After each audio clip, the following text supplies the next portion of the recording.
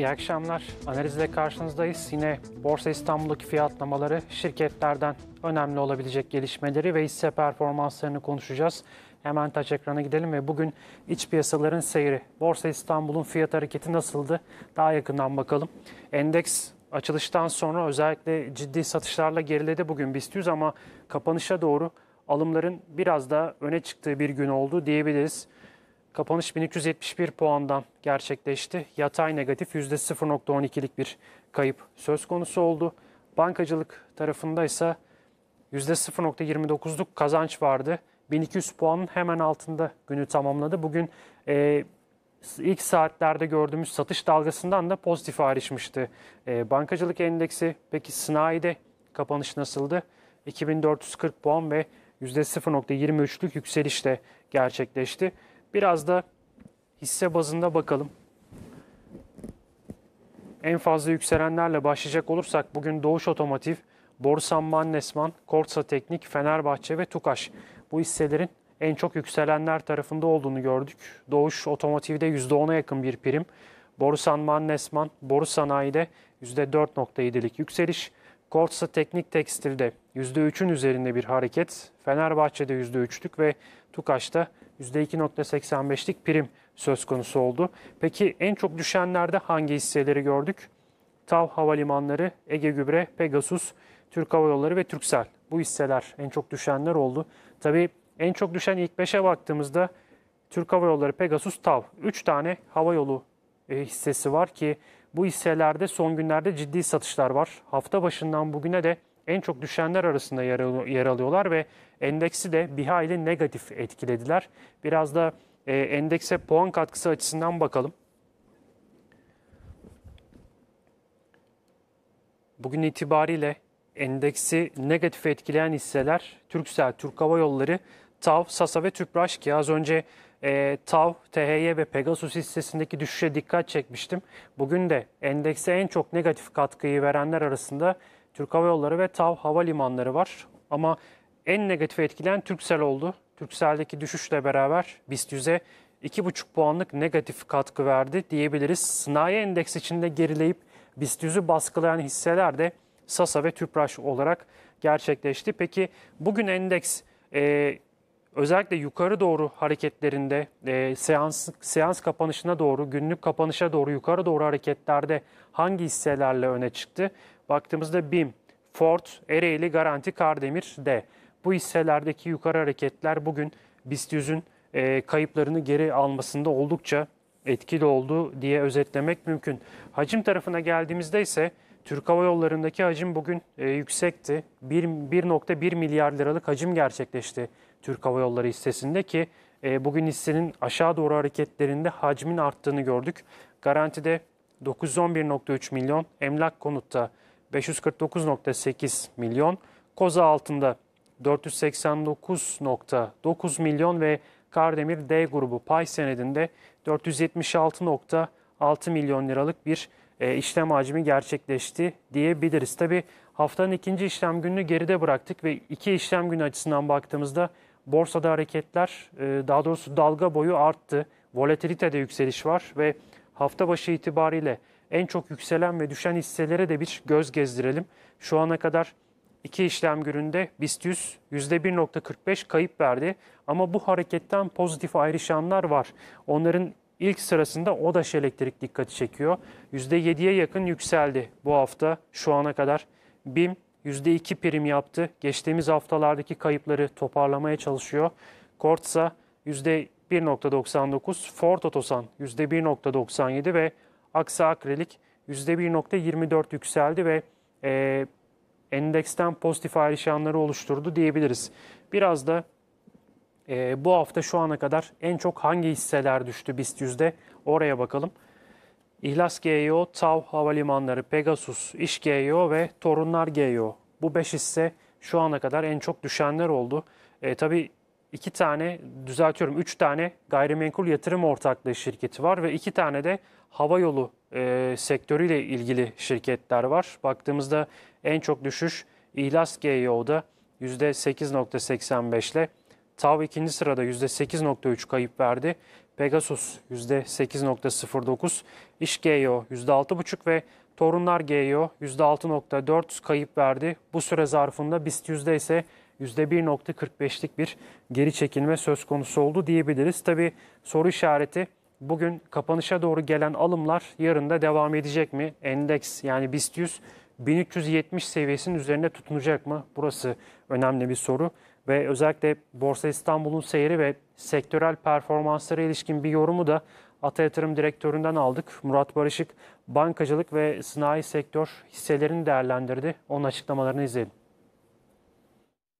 Genel olarak bankacılık bütün ekonominin risklerinin üzerinde barındırdığı için ve e, açıkçası çok likit olduğu için yani pozitif bir şey olduğunda yabancı yatırımcı hızlı bir şekilde banka hisseleriyle Türkiye piyasasına girebiliyor ve e, montanlı alımlar yapabiliyor. Tam tersi olduğunda da negatif bir şey olduğunda yine aynı şekilde bu hisseler üzerinden bu işlemleri yaptığı için burada tabii ki e, zaman zaman işler kötü gittiğinde veya pandemi bu geçtiğimiz aylarda çok yukarıdayken e, tabii ki bankacılık sektörü biraz yorulmuştu. Şu anda e, ekonomik aktivitenin artması özellikle Türkiye'nin büyümesinin performansının olumlu olması biraz biraz daha bankacılık tarafında yine e, raporlarda şunları görebiliyoruz. Ya acaba çok mu ucuz kaldılar? E, bankalar e, işler nasıl gidiyor diye e, didiklenmeye başladığını görmekteyiz. Burada net faiz marjı e, açıkçası yani ikinci çeyrekte çok büyük bir e, kendi ana işlerinden kar yazacaklarını düşünmüyoruz. Bu ancak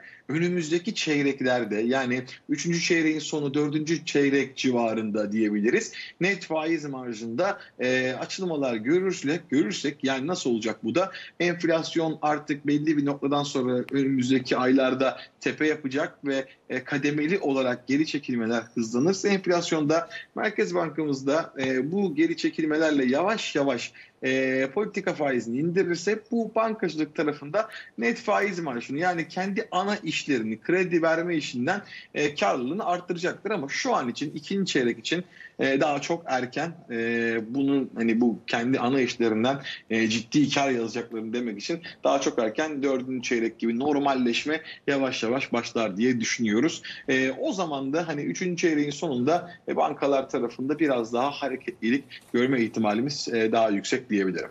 E, biliyorsunuz ki bu ilk açılma sinyalleriyle beraber dünyada emtia fiyatlarında ciddi şekilde bir rally gerçekleşti. HRC fiyatları örneğin Ereğli için konuşacak olursak HRC fiyatları 400 dolarlardan 1160-1200 dolarlara doğru hareketlilik gösterdi. E, zaten hisse performansı da olumlu şekilde devam etti. İlk çeyrek çok ciddi şekilde e, iyi bir finansal sonuç açıkladı. Bundan sonra da ılımlı hareketler devam etti ama daha sonra e, hem Çin'in aldığı müdahaleler hem acaba çok fazla mı gitti emtialar e, bakışıyla biraz satış baskısı altında kaldılar. Bu da çok normal olarak karşılıyoruz. Zaten borsada çok ciddi şekilde bir performans göstermedi. Burada kar satışları yani belli bir yerden almış olan yatırımcıların kar satışı yapması çok çok normaldi. Bundan sonra ne olurun cevabına bakacak olursak biz hala HRC fiyatlarının yukarıda olduğunu görmekteyiz. Önümüzdeki dönemde e, ikinci çeyrek sonuçları da yavaş yavaş gelmeye başlayacak. Yani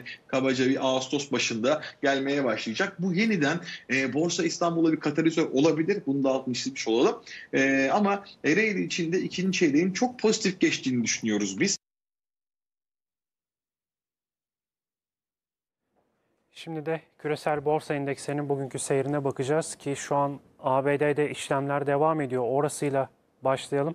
Nasdaq hariç yatay negatif bir fiyatlama. Nasdaq %0.19 yukarıda şu an vadeli işlemlerde.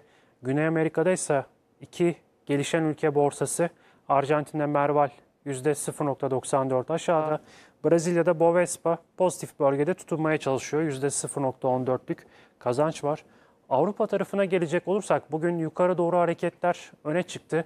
DAX endeksi 15.690 puanda günü noktaladı.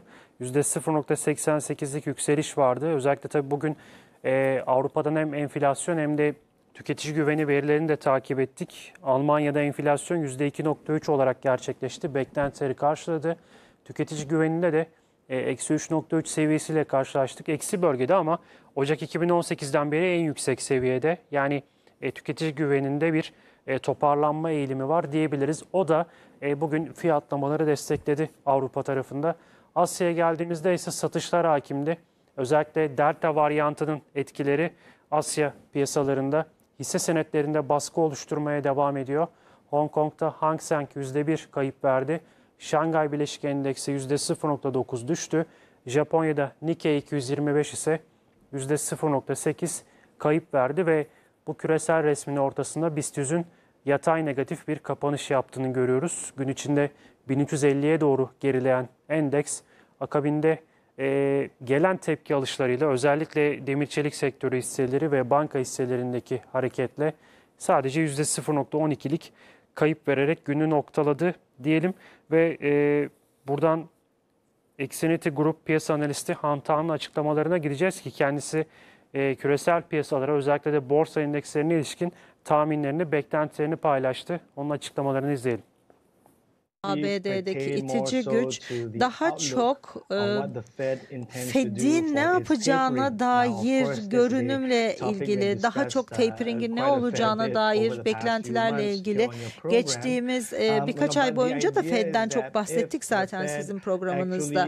Eğer Fed e, dot plot'un gösterdiği gibi davranırsa bu e, tapering planlarının ortaya çıkması anlamına gelebilir ve dot plot analizi ABD faiz oranlarında artış e, olabileceğini işaret ediyor 2023 yılında.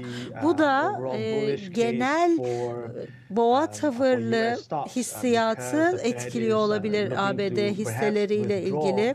Çünkü Fed belki bu piyasaya verdiği desteği beklenenden daha erken çekecek anlamına gelebilir diye yorumlanabilir.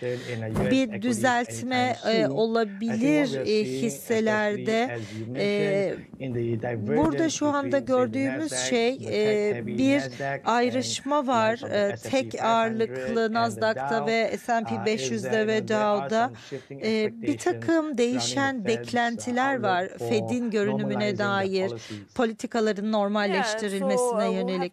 Hiç daha önce benzeri görülmedik zamanlardan geçiyoruz. Başka hiçbir zamankine benzemeyen modern tarihte eşi benzeri görülmedik bir toparlanmayı e, bekliyoruz ve bu yüzden öngörülerin ve görünümlerin bazılarının buna göre ayarlanması gerekecek. Elimizdeki e, etkili olan farklı faktörlerin değerlendirmeye alınmasıyla. Eğer e, dolara bakacak olursak dolarda boğa tavırlı olanların beklenenden daha iyi bir tarım dışı istihdam görmesi gerekiyor. Ya 700 bin ya da üzerindeki bir rakam olması lazım ki dolar endeksini yeniden yukarıya bu psikolojik 92 seviyesinin üzerine taşıyabilsin. Powell'ın yılın ikinci yarısındaki ABD ekonomisinin performansına dair yorumlarına gelecek olursak bu ay tarım dışı istihdam verileri de yılın hala ikinci değil ilk yarısına dair. Yani onun elimizdeki bu somut ekonomik verilerin geçerliliğine bakacak olursak ikinci yarı bize daha sağlam veriler sunacak. Öncelikle işsizlik ödemeleri ABD'de önümüzdeki aylarda netleşecek ve düşük baz etkisi söz konusu 2020'den gelen. E, bunlar da ortadan kalktığı zaman daha iyi bir e, resim olacak karşımızda ABD enflasyon rakamlarına dair. Burada bir takım faktörler e, istihdam ve enflasyon rakamlarını çarpıtıyor, değiştiriyor olabilir. Önümüzdeki aylarda bunların etkisinden sıyrılınca ABD ekonomisinin gerçek durumunun ne olduğuna dair dair daha iyi bir fikir elde edeceğiz. Şimdi biraz tahvil ve döviz tarafındaki gelişmelere bakalım. ABD 2 ve 10 yıllık tahvil faizinin son durumunu inceleyeceğiz. ABD 2 yıllıkla başlayacak olursak hala %0.25 seviyesine yakın fiyatlamalar var. Tabii burada son FED toplantısı sonrası 15 Haziran'dan sonra yukarı doğru ciddi bir hareket başlamıştı. Ve Fed'in ters repo işlemleriyle piyasadan likidite çekmesi de buradaki faizleri etkiledi. Son günlerde ise yatay ve sakin fiyatlamalar var. ABD 10 yıllık tarafta ise bugün çok sınırlı bir artış ama %1.48'de görüyoruz. Yine son bir aylık grafiğin son bölümüne bak bakacak olursak sakin seyrin burada da devam ettiğini söylemek mümkün ABD tarafı için. Döviz tarafında ise özellikle e, dolar endeksinde bugün yukarı doğru hareketler öne çıktı. Yeniden 92 seviyesinin üzerinde görüyoruz şu anda dolar endeksine. Son FED toplantısından sonra ciddi bir tırmanma ve 18 Haziran'da son bir ayın en yüksek kapanışı 92.33 seviyesinde yapılmıştı. Şu an 92 sınırında ve yine hareketlilik var. Geçen hafta sakindi. Dün de bu sakin seyrini korudu ama bugün yeniden yukarı gitmeye başlayan bir dolar endeksi var ki bunun da özellikle bugün altın cephesini, e, kıymetli metalleri ciddi biçimde baskıladığını söylemek mümkün. Peki volatilite beklentileri nasıl bir seyir içinde? Şimdi de oraya bakalım. VIX endeksi geçen hafta 5 gün aralıksız biçimde düşmüştü. Dün yukarı doğru bir hareket gördük. Düşüş serisi sona erdi. Bugün de o yükseliş devam ediyor. E, %2,5'a yakın bir artış. 16 seviyesinin üzerinde VIX endeksi. Yani volatilite beklentilerinde bir artış var. Korku ve streste çok sınırlı da olsa bir yükseliş ve onun da etkisiyle şu anda zaten ABD endekslerinde Nasdaq hariç baktığımızda biraz daha yatay ve karışık hatta aşağı yönlü hareketlerin e, biraz daha öne çıktığı bir işlem günü oluyor diyebiliriz. Tabii ki bu fiyatlamalarla beraber ekonomik verileri de takip ediyoruz ki bugün ABD'de açıklanan tüketici güven endeksinde de yine iyimser bir seviye ortaya çıktı. 127.3 seviyesine yükseldi Haziran'da e, tüketici güven endeksi ve özellikle tüketicilerin hane halklarının ekonominin gidişatına ilişkin beklentilerinde iyimser bir e, duruma işaret etti diyebiliriz. Bununla birlikte konut fiyatlarında da e, yükseliş devam ediyor. Konut fiyatlarında 33 yılın en hızlı artışı sağlandı. Şimdi bu verilerin ayrıntılarını izleyelim. Amerika Birleşik Devletleri'nde tüketici güveni salgından bu yana en yüksek seviyeye ulaştı. Conference Board, Amerikalı tüketicilerin eğilimlerini ölçen güven endeksi verilerini açıkladı. Buna göre tüketici güven endeksi Haziran'da geçen aya kıyasla 7,3 puan artarak 127,3'e yükseldi. Böylece ülkede tüketici güveni Şubat 2020'den bu yana kaydedilen en yüksek seviyeye çıktı. Uzmanlar Amerika Birleşik Devletleri'nde tüketici güveninin gelecek aylarda da artmaya devam etmesinin beklendiğini aktardı. Bu artışın da ekonomik faaliyetlerin %70'ini oluşturan tüketici harcamalarına daha fazla destek sağlayacağı vurgulandı. Amerika Birleşik Devletleri'nde konut fiyatlarında da Nisan ayında son 33 yılın en hızlı artışı yaşandı. Fiyatlar yıllık bazda %14,6 yükseldi. Konut fiyatlarının yükselmesinde güçlü talebin yanı sıra düşük seyreden mortgage faizlerinin de etkisi görüldü satıştaki konut sayısının az olması da nedenler arasında sayılıyor.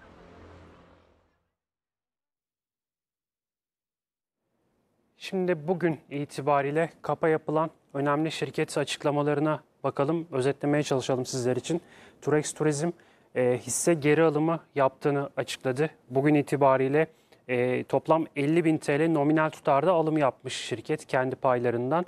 8.74 fiyattan 25 bin nominal tutarda 8.75 e, fiyatındansa toplam yine 25 bin TL nominal tutarda alış var. Yani toplam miktar 50 bin lira ve fiyat aralığı yani hisse geri alımı yapılan fiyatlar 8.74-8.75 olarak açıklandı diyebiliriz. Bununla birlikte yapılan alım miktarının şirketin sermayesine oranı ise çok sınırlı. %0.04 seviyesinde diyebiliriz. Grafiğe de bakalım. Turex'in hisse grafiğine.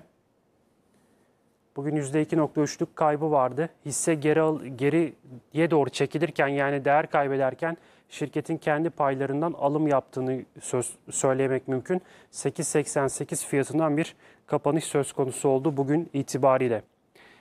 Ve e, Kontrolmatik teknolojiyle devam edelim. Kontrolmatik tarafında ise bir sözleşme imzalanması söz konusu oldu.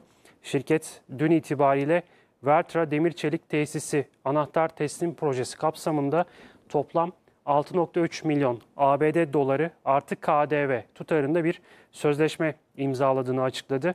E, bu proje kapsamında yani sözleşme imzalanan proje kapsamında temel ve detaylı tasarım ve mühendislik, yüksek gerilim ekipman temini, OG hücre temini, kontrol ve koruma sistemi gibi e, bazı hizmetlerin tamamlanması planlanıyor. Açıklama bu yönde.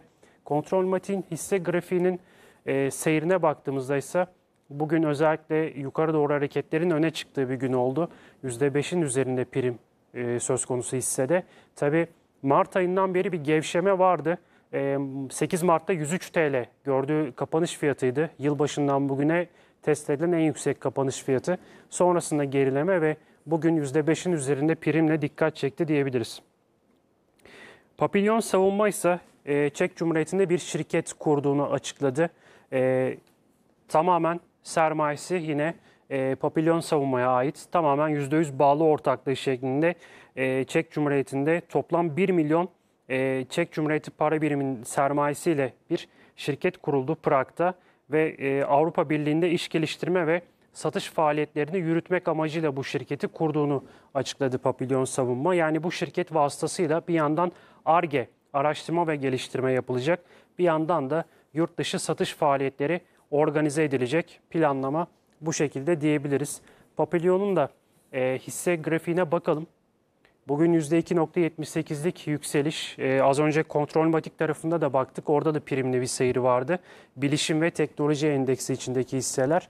E, Papillon savunmada da %2.78'lik bir prim 15.52 TL seviyesine kapanış söz konusu oldu. Ama tabii yılbaşından bugüne seyre baktığımızda Şubat ayından beri bir düşüş trendi var. 21 Haziran'da 13.97 TL'de kapanış yapmıştı. E, yılbaşından bugüne test ettiği en düşük kapanış fiyatıydı. E, son günlerde ise biraz daha toparlanma çabası var diye özetlemek mümkün.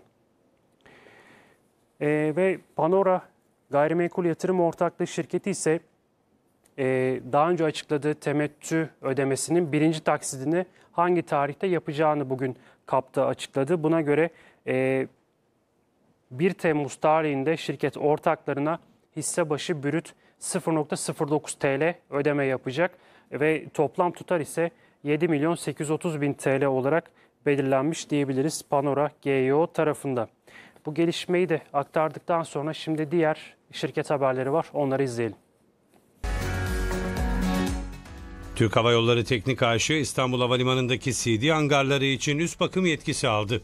Yetkinin alınmasıyla birlikte eş zamanlı ağır bakım hizmeti verilmeye başlandı. Bu kapsamda 3 Airbus tipi uçaktan ilkinin bakım çıkışı gerçekleşti.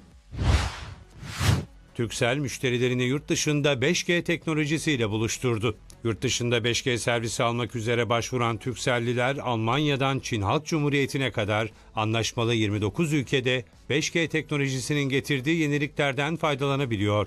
Türksel Genel Müdürü Murat Erkan, 5G'yi destekleyen telefona sahip olan müşterilerimiz anlaşmalı olduğumuz ülkelerde artık 5G teknolojisini deneyimleyebiliyor açıklamasında bulundu. Akdis Avrupa İmar ve Kalkınma Bankası ile 25 milyon euro tutarında 3 yıl vadeli kredi anlaşması yaptı. Söz konusu kredi yenilenebilir enerji, enerji verimliliği ve kaynak verimliliği alanında kullandırılacak. Cengiz Enerji Özbekistan'daki ikinci doğal gaz yakıtlı kombine çevrim enerji santrali için anlaşma imzaladı. Bu kapsamda santral 70 bin metrekarelik alana kurulacak ve saatte 220 megawatt enerji üretecek. Böylece santralin elektrik üretim kapasitesi 2022'de 460 megawata ulaşacak. 23, 24, 25 Haziran tarihlerinde talep toplama işlemleri tamamlanan Mediterra'da halka arz büyüklüğü 196 milyon lira oldu. Halka arıza 22.865 yurt içi bireysel yatırımcı katıldı. Mediterranean halka arzına toplam halka arz büyüklüğünün 10.36 katı talep geldi. Çin'in uzun zamandır beklenen Chengdu Tianfu Uluslararası Havalimanı resmi olarak faaliyete başladı. Yaklaşık 10.8 milyar dolar maliyetle inşa edilen devasa havalimanının birinci aşaması yılda 60 milyon yolcu taşıma kapasitesine sahip. Şimdi yorum alarak devam edeceğiz. Gedik Yatırım, Yatırım Danışmanlığı Birim Müdürü Üzeyir Doğan bizlerle. Üzeyir Bey merhaba, hoş geldiniz yayına. Merhabalar, iyi yayınlar. Teşekkür ederim. Tabii öncelikle BIST endeksindeki bugünkü hareketi nasıl yorumluyorsunuz onu sormak istiyorum. 1350'ye ee, kadar bir geri çekilme sonra seansın sonuna doğru alımlar geldi. 1370'in üzerinde bir tutunma gördük. E, gün içinde gelen o alımlar yarın için pozitif bir sinyal midir? Yoksa hala temkinli mi olmak lazım? Ne dersiniz? Evet, yani bugünkü dip seviyelerden gelen alım e, yarın için bir miktar e, pozitif algıyı destekliyor. Aslına baktığımızda e, çok düşük hacimlerle oluyor bu hareketler. Bu açıdan biraz e, aslında hareketlerin sürdürülebilirliğine de çok fazla e, inanamıyoruz. Bugünkü volatiliteye baktığımızda önemli bir bant aralığında gerçekleşti hareket ama e, hareketin gerçekleştiği alan içerisindeki bu gelgitlere rağmen e, işlem hacmi sadece 12.6 milyar TL civarında kaldı BIST 100 endeksinde. E, bu da hareketlerin çok fazla e, desteklenemediğini gösteriyor. Yani piyasadaki e, ilgisizliğin devam ettiğini gösteriyor. Bugünkü hareketlerde de bir ya da birkaç fonun ya da kurumun e, ağırlıklı işlemlerinin, alım satım yönündeki işlemlerinin e, genel hareket üzerinde etkili olduğunu söylemek e, mümkün. Yani e, tüm e, yatırımcıların geneline yayılmış, yatırımcıların topyekun hareket ettiği bir dalgalanma süreci yaşamıyoruz maalesef. E, burada yatırımcılar biraz daha e, piyasanın gerisinde duruyor. Bu gerisinde durma nedeniyle de bahsettiğimiz işlem hacmi e, etkisi oldukça düşük kalıyor.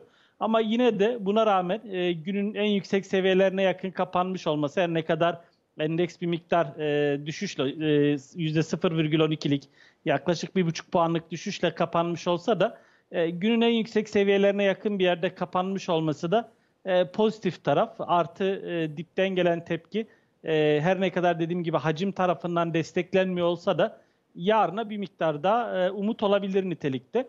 E, son birkaç günlük döneme baktığımızda Borsa İstanbul emsallerinden çok ciddi negatif ayrışıyordu.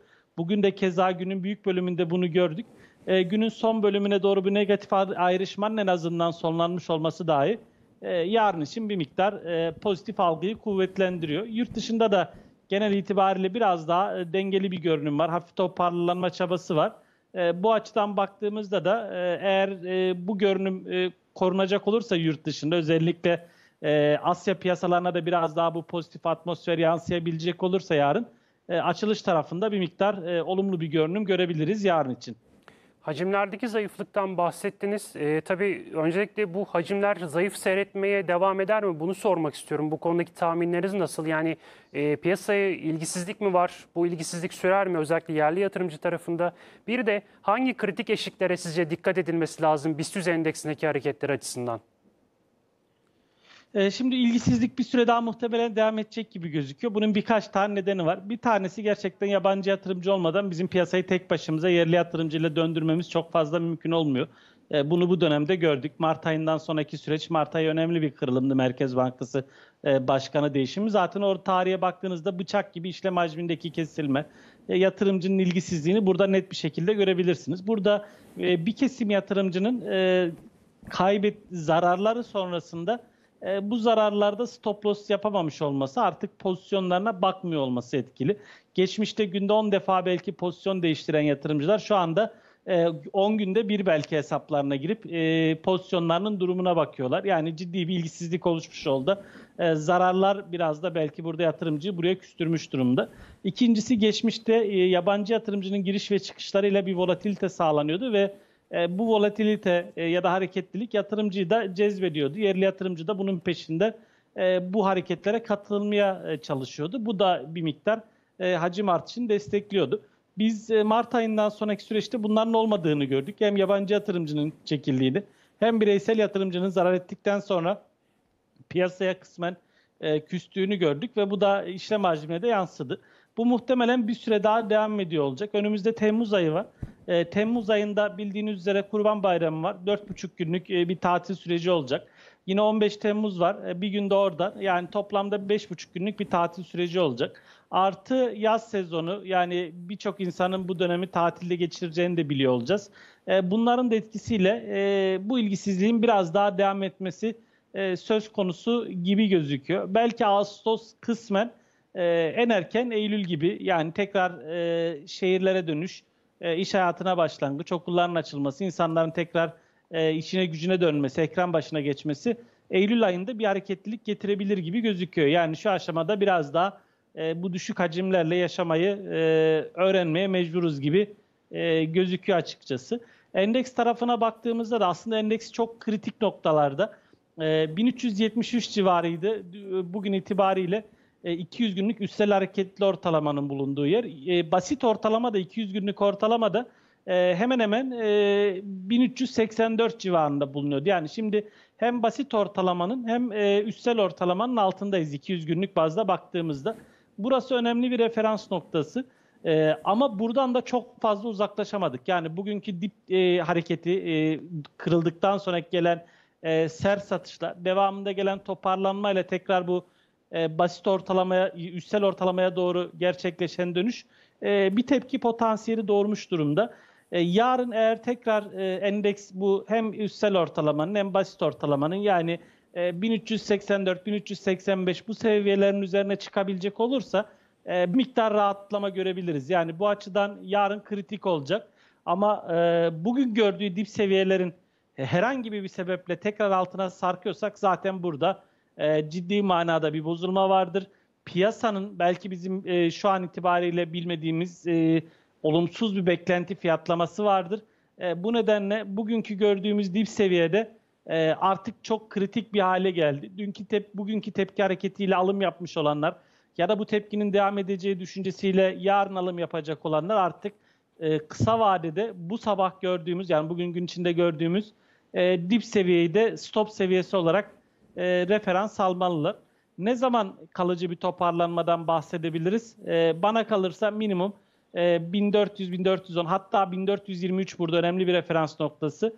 E, en azından 1400'lerin üzerindeki kapanışları görmemiz, e, 1423'ün üzerinde de e, alımların çok ciddi kuvvetlendiği bir trend dönüşünü e, yeniden e, söz etmemiz mümkün olur kanaatindeyim.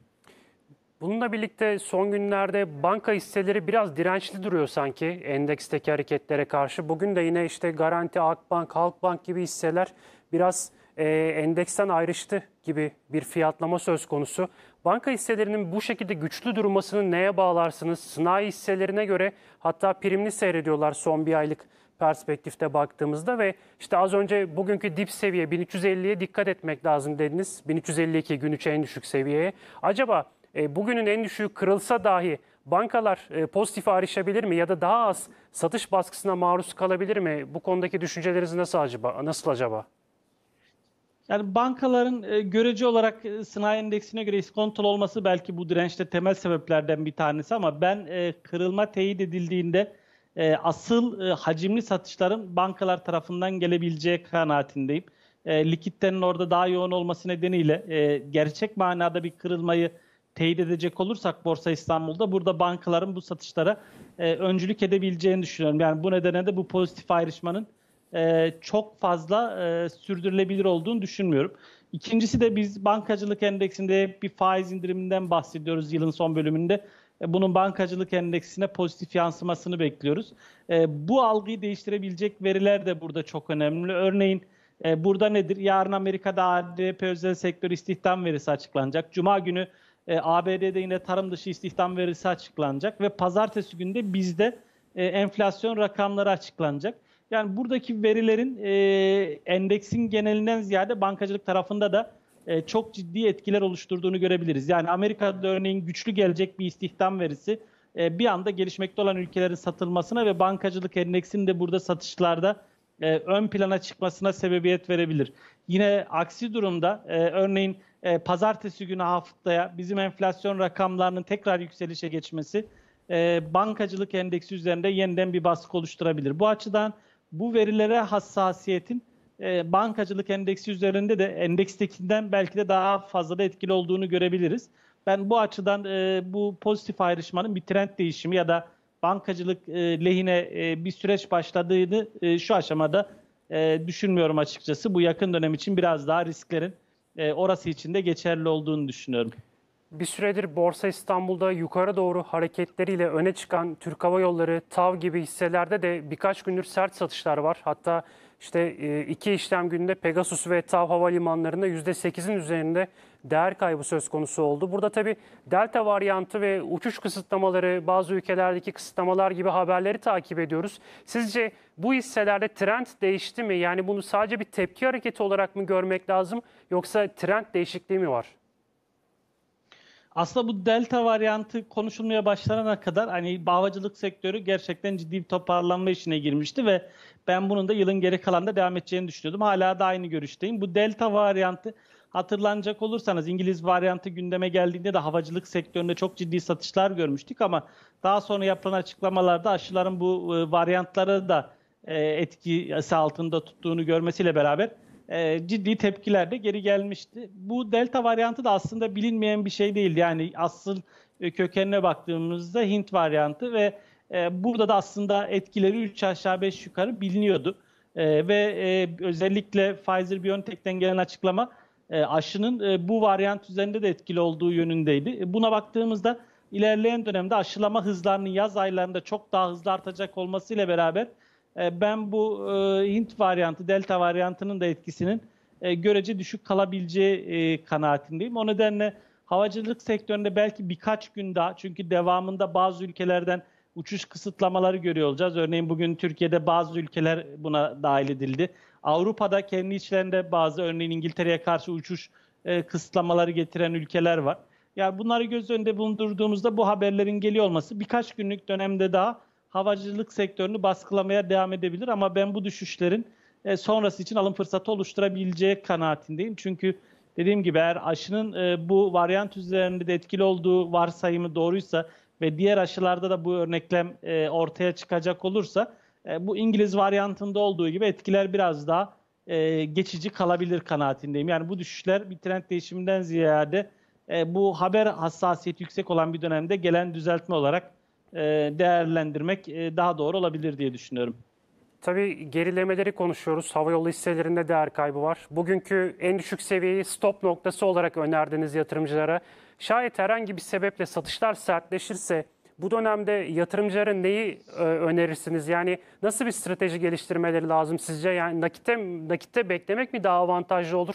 Yoksa temeli sağlam hisselerde biraz daha uzun vadeli mi bakmak lazım? Neler önerirsiniz?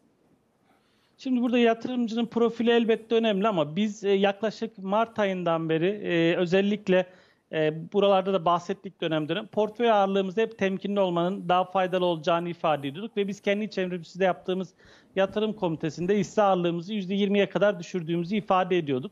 Ee, ve bu stratejiyi de devam ediyoruz. En son işte gerçekleştirdiğimiz, geçtiğimiz hafta Perşembe günü gerçekleştirdiğimiz e, toplantıda da e, kendi içerimizde bu hisse portföyünün %20'ler civarında tutulmasının e, doğru olacağı e, kanaatindeydik. E, %60'a yakında, e, %50'ye yakında pardon, e, sabit getirili e, ürünlerde bir portföy dengesi oluşturmuştuk. Bir miktar altın %10 civarı ve %20 civarında e, döviz şeklinde bir dağılım e, düşünmüştük. E, bu dengeyi koruyoruz açıkçası hala. Bu açıdan yatırımcıların da hani bu dönem eldeki varlığı koruma artı sabitte olan yüksek getirilerden faydalanma dönemi. Yani bu dönem en azından şu birkaç aylık dönem daha belki aşırı risk almayı çok uygun bulmadığımız bir dönem. E, bu açıdan bu dönemi temkinli geçirmek lazım. Elbette orta uzun vadede tutulan, e, endekse göre görece kuvvetli kalan ve iskontosu devam ettiği düşünülen hisseler ya da sektörlerden bir miktar portföy bulundurulabilir. Her zaman bu hisse senedinde bir fırsat vardır en kötü piyasada bile. Burası için e, portföylerde makul bir miktar bulundurulabilir ama e, ana stratejinin en azından bir dönem daha e, mevcuttaki sabit getirilerden e, faydalanmak olduğunu söylemekte fayda var. Çünkü sene başından itibaren baktığımızda e, mevduatta neredeyse %8'ler %9'lar civarı 6 aylık getiriler söz konusuydu. E, borsada böyle bir getiri oluşmadı. E, bu açıdan da e, bu stratejinin en azından şu ana kadar e, doğru ilerlediğini düşünüyoruz. E, birkaç aylık dönem daha e, buna benzer bir stratejinin e, endekste e, olacak sert düşüşlerde kademeli bir şekilde hisse senedini arttırmak koşuluyla. Çünkü tamamen de Borsa İstanbul'dan ya da hisse senetleri piyasasından umudumuzu kesmiş değiliz. Ama geri çekilmelerde e, böyle %5'lik %10'luk dilimler dahilinde belki e, yavaş yavaş bu sert düşüşlerde portföy ağırlıklarını da hisse tarafında arttırmak gerektiğini düşünüyoruz. Yılın son bölümü her ne kadar Fed endişesi vesairesi de olsa bunların önden fiyatlanıp son dönemde bir miktar daha e, pozitif atmosfer oluşabileceğini düşünüyoruz borsa tarafında. Tabii bizim için ister istemez yurt dışındaki fiyatlamalar da önemli. S&P 500 ve Nasdaq'taki rekorları konuştuk son dönemde. Fed başkanlarındansa çelişkili açıklamalar gelmeye devam ediyor. Geçen hafta güvercin tonda mesajlar izledik. Bu hafta özellikle Rosengren'in açıklaması enteresandı. 2022 yılında faiz artışı için şartlar oluşabilir şeklinde bir açıklama takip ettik. Verilere de bakıyoruz. Yine güçleniyor ABD ekonomisi. Bugün tüketici güveni açıklandı ve 127.3'e yükseldi. E, şu an itibariyle baktığınızda hem Fed FOMC üyelerinden gelen mesajlar hem ekonomik veriler ABD borsaları için nasıl bir sinyal veriyor? Yine yükselişin devam ettiğini mi izleyeceğiz, izleyeceğiz acaba? Ee, ben gecikmiş bir düzeltme süreci olduğunu düşünüyorum Amerika endekslerinde. Yani ne kadar tarihi zirvelerde de olsa ben açıkçası daha öncesinde bu düzeltmenin başlayabileceğini düşünüyordum. Ama zirvelerde inatla tutunuyoruz ama bu zirvelerde çok fazla geliştirilemiyor. Yani Dow e, ya da S&P rekor kırdı dediğimizde bir önceki zirvenin birkaç puan üzerinde en fazla rakamdan bahsediyoruz. Bu açıdan e, burada da bir sıkışma var. E, burada beklenen şu güçlü bir istihdam verisiyle Fed'in bu varlık alım programını azaltma sürecinin haklılığının ortaya çıkması. O açıdan da bu hafta çok kritik aslında. Yani yarın açıklanacak HDP özel sektör istihdam verisi, cuma günü açıklanacak e, özellikle oradaki tarım dışı istihdam verisi çok kritik bir hale geldi ve burada en ufak bir toparlanma emaresi Fed'in enflasyondan sonra istihdamda da toparlanma geliyor algısıyla varlık kalım programını azaltabileceği algısını destekleyip ilk etapta e, kuvvetli bir düzeltme getirebilir hisse senetlerinde. Bu en son nereye kadar ötelenebilir derseniz bana kalırsa Eylül ayına kadar. Neden? Çünkü Amerika'da e, Eylül ayına kadar olan dönemde bu işsizlik e, yardımları, e, buradaki e, ödemeler oldukça kuvvetli seyrediyor. Hatta bazı bölgelerde işsizlik e, e, ödenekleri e, asgari ücretin üstüne çıkmış durumda. Bu da insanların iş arama iştahını azaltıyor. İş aramamaları işte istihdam verilerindeki artışı yavaşlatıyor. Aynı zamanda bu iş aramayan insanlar iş, işsizlik istatistiklerinden de çıkıyor ve işsizlik oranı da düşüyor. Yani istihdam kuvvetli gelmezken, zayıf gelirken işsizlik oranı da bunun nedenine düşüyor. Çünkü insanlar iş aramıyor. Aldıkları işsizlik ödenekleri onlar için çok cazip rakamlarda. Bunlar Eylül ayı itibariyle sonlanacak. Yani bu nedenle insanların artık yavaş yavaş istihdam piyasasına dönmesi başladı. Bu da istihdam verilerine yansıyacaktır. Benim tahminim bu ay olmasa bile en geç 1-2 ay içerisinde güçlü istihdam verileriyle karşılaşıp Fed'in varlık alım programını azaltma sürecini konuşacağız. Bu da yakın vadede 3. çeyrek içerisinde Amerikan borsalarında da çok ciddi bir düzeltmenin e, bence başlangıcı olacak. Bir yandan dolar endeksine de bakıyoruz. E, Fed sonrası 15 Haziran'daki toplantı sonrası 92'nin üzerine gitmişti. Geçen hafta güvercin mesajlardan sonra çok da düşmedi. 91.7, 91.8 civarında sakin bir seyir izledik. Bugün yeniden 92'nin üzerine yükseldi. Yani Fed'den e, izlediğimiz ılımlı mesajlara rağmen, dönem dönem gördüğümüz güvercin mesajlara rağmen dolar endeksi şu an 92'ye yakın ve hala sanki yükseliş eğilimini koruyor gibi. Dolayısıyla döviz piyasalarında acaba şahin bir Fed mi fiyatlanıyor? Siz, siz nasıl düşünüyorsunuz? ben onun etkili olduğu kanaatindeyim. Burada da şunu söyleyeyim. Yani FED tarafında aslında FOMC tutanakları ve FED başkanının söylemleri bence burada önemli ama özellikle de FOMC tutanakları önemli. Ee, oradaki toplantıda alınan kararlar FED'in genel görüşünü yansıtan unsur. Diğer tarafta FED üyelerinden gelen açıklamalar biraz daha ikinci öneme sahip bence. Çünkü her FED üyesi kendi bölgesinin değerlendirmesini, kendi görüşünü açıklayabiliyor ama sonuçta FOMC e, FED'in ortak haklını yansıtıyor. O nedenle e, o toplantılar önemli e, ve son e, toplantıya baktığımızda da bu açık piyasa komitesi toplantısına orada e, yavaş yavaş bu tahvil alım programlarının azaltılmasının e, konuşulması gündeme geldi. Yani ben orayı baz almak gerektiğini düşünüyorum. Çünkü merkez bankaları aslında e, sanki çok demokratik kurumlarmış gibi algılanır tırnak içerisinde. Herkes oyunu verir ve e, görüş hangisi çoğunlukla çıktıysa o karar alınırmış gibi bir algı var. Ama ben buna şöyle söylüyorum. Evet merkez bankaları demokratiktir ama başkanın sözü her şeyin üstündedir. Bunu biz birçok ülkede gördük. Yani kendi ülkemizde de keza buna şahit olduk. Yani sadece başkan değiştiğinde politikaların nasıl değiştiğini, e, o toplantı tutanaklarının, para politikası kurulu tutanaklarının sanki bir önceki toplantıda o üyeler yokmuş gibi yeni başkanın ağzından yazıldığını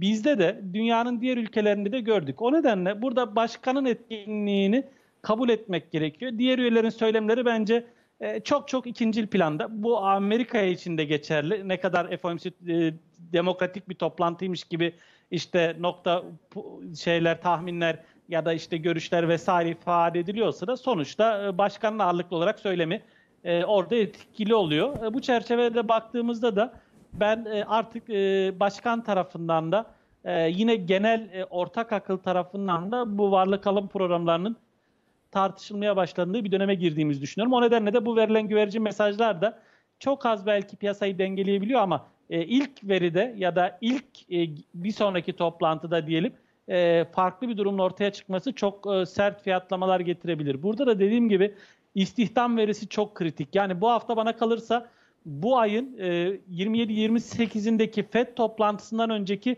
en kritik haftası ve devamında güçlü bir istihdam verisi görürsek biz 27-28'indeki FED toplantısına kadar e, piyasalarda çok e, rahat gün yüzü göremeyiz diyebilirim. Yani o açıdan e, güçlü bir istihdam bir anda dediğim gibi her şeyi tersine çevirebilir. E, bizim açımızdan da olumsuz bir tablo oluşturabilir. Dünyanın geneli açısından da e, olumsuz tablonun başlangıcı olarak e, kayda geçebilir. E, bu açıdan burayı takip ediyor olacağız. İnşallah dengeli bir veri gelir. E, biraz daha en azından 27-28'indeki FED toplantısına kadar e, piyasalar biraz daha zaman kazanmış olur bu süreçte. Geçtiğimiz haftalarda sizinle yaptığımız yayınlarda altını sormuştum. Tehlikeli seviyelerde demiştiniz ki düşmeye devam etti. Ee, yine aynı soruyu sormak istiyorum. Acaba hala tehlikeli mi? Alım için beklemek mi lazım? Bu konudaki düşünceleriniz nasıl? Ben kesinlikle beklemek gerekir diye düşünüyorum. Biraz önce bahsettiğimiz istihdam verileri altın için de çok kritik. Çünkü e, güçlü gelecek bir istihdam faizlerin hızlı bir şekilde Amerika'da yükselmesi, yükselen faizlerinde altın başta olmak üzere dolarla fiyatlanan emtialarda e, sert geri çekilmelerin yaşanmasına sebebiyet verecek. E, bu nedenle ben e, bu kadar kritik bir haftada o riski almazdım. E, tersi olabilir mi? Evet olabilir. Yani e, örneğin e, zayıf bir istihdam verisi gelir, altın bir kez daha yükselir. Ama ben bu tarz bir yükselişte bile bir sonraki toplantı ya da bir sonraki ay endişesi hep devam edeceği için e, bu tarz yükselişlerin de satış fırsatı olarak değerlendirilmesi e, gerektiği kanaatindeyim. Yani altında e, buralarda yeni alım yapılır mı? Ben o riske girilmesi taraftarı değilim.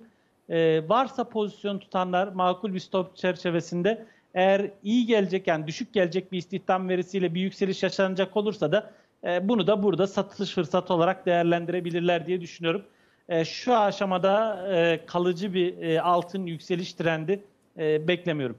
Çok teşekkür ederiz yorumlar, bilgiler için. İyi akşamlar. Ben teşekkür ederim. İyi akşamlar.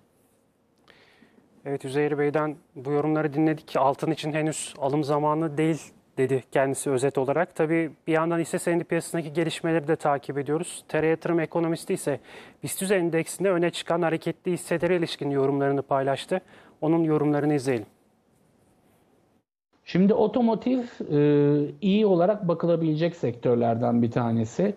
E, çünkü yani her ne kadar tabii ki yurt içinde e, iç talep, yüksek taşıt kredisi faizleri ve hatta döviz kurlarından ve enflasyondan gelen yüksek otomobil fiyatları e, gibi etmenler talebi sınırlayıcı bir durum yaratsa da e, dış pazarlara yönelik olan görüntü son derece olumlu ve e, iç talepteki sınırlanma çok yoğun bir şekilde ihracat artışıyla beraber e, burada e, kompanze edilecek ve fazlasıyla telafi edilecek gibi görünüyor. Dolayısıyla özellikle burada e, otomotiv şirketleri açısından olumlu bir değerlendirme yapılabilecek e, bir durum olduğunu söyleyebiliriz. Gıda her zaman defansif bir sektör. E, özellikle pandemide tabii ki e, tüketimin gıdaya doğru yığılmasıyla beraber e, zaman zaman bu defansif görüntünün ön plana çıktığı bir durum oldu. Yani pandemi hisseleri grubu içerisinde gıda sektörü çok yoğun bir şekilde ön plana çıktı ve kendine has bir grup e, oluşturdu e, diyebiliriz. Dolayısıyla gıda sektörünün durumu talebin canlanması, sönümlenmesi ya da birikimlenmesi gibi etmenlere bağlanır. O da çok yoğun bir e, şekilde e, bundan önce kapanma önlemlerine bağlıydı tabii ki. Kapanmadan sonra biraz normalleşme olunca o defansiflik biraz devreden e, çıkabilir e, diye düşünüyoruz. Sosyal medya devi Facebook'un piyasa değeri 1 trilyon doları aştı ve böylelikle değeri 1 trilyon doların üzerinde olan şirketler arasına katıldı. Şimdi Facebook'un değerindeki bu değişimleri izleyelim. Apple, Microsoft, Saudi Aramco, Google, Amazon. Hepsi 1 trilyon dolar değerini aşan dev şirketler. Şimdi Devler Ligi'ne bir şirket daha eklendi. Hakkındaki tekel davasının reddedilmesiyle beraber piyasa değeri yükselen sosyal medya devi Facebook. Facebook, Trilyonerler Kulübü'nün 5. üyesi oldu. Hisse değeri 355 dolara aşan şirket 1 trilyon 8 milyar dolara ulaştı. 2012 yılında 104 milyar dolar değerlemeyle borsaya açılan Facebook, 9 yıl içerisinde değerini 10'a katladı. Şirketin kurucusu ve CEO'su Mark Zuckerberg'ün serveti ise 5 milyar dolar artarak 128 milyar dolara yükseldi. Bu artışta Zuckerberg dünyanın en zengin dördüncü kişisi oldu. Devler Ligi'nin zirvesinde ise 2 trilyon 249 milyar dolarla Apple var. Onu 2 trilyon 24 milyar dolarlık değeriyle Microsoft takip ediyor. Suudi Arabistan'ın resmi petrol şirketi Saudi Aramco 1 trilyon 869 milyar dolar, Amazon 1 trilyon 727 milyar dolar ve Google 1 trilyon 668 milyar dolar değere sahip. Böylelikle analizin sonuna geldik. Yarın yine aynı saatte görüşene kadar hoşçakalın, iyi akşamlar.